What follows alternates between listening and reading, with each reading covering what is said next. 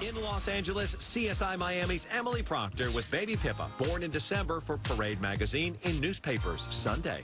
I don't sleep at all because I stare at her. She's great. She's lovely. It's um it's the best thing I've ever done.